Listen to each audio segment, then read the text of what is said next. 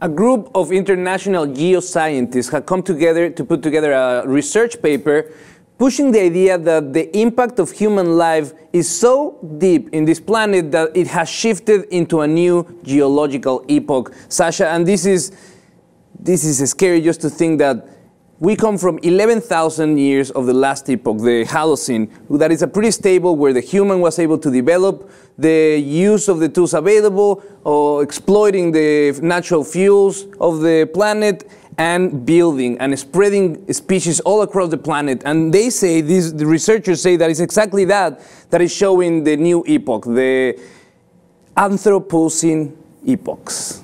I mean, it's interesting, right? The periodic table is a living, breathing thing. So, who's to say that in 200 years we won't discover new elements? We're discovering new elements now. And what they're really measuring with the study is how the chemical composition and the topography of the Earth is changing based on human manipulation. Mm-hmm. And that's a very scary thing um, because human beings, we do have a lot of runoff from our industries that are impacting the sediments and the chemical makeup of the earth. Exactly. They are talking about aluminium, concrete, plastic, fly ash, and the fallout from nuclear test and nuclear activity that is shifting the epoch, the geological state of the planet. Uh, and they are talking about that this is already happening. This is an epoch that started 50 years ago in the mid 20th century. And they say that the, the same things that we attribute to the climate change debate are the same ones that are changing this. That this is an evolution. It's all part of the same thing. This new epoch is, is called the Anthropocene exactly because it's the, the effect of humans on the planet. This is the moment when we are really going to see uh, the consequences of the industrialization of the planet, the, of progress, if you will.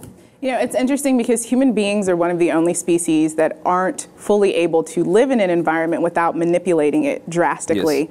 Um, so it'll be interesting to see how these scientists and researchers are able to continue to prove this and what this does in the long run. Yeah, they've been doing this research. 24 different members of the Anthropocene Working Group is showing that the human activity is affecting the makeup of the planet. And we see that there's different minerals and different metals where they shouldn't be, and we see species in different, complete different habitats of where they are biological supposedly to be, and then we see global warming, the warming of the planet, the level of greenhouse emission gases around, and now they decided that that's reason enough to believe that the planet is moving into a new geological epoch.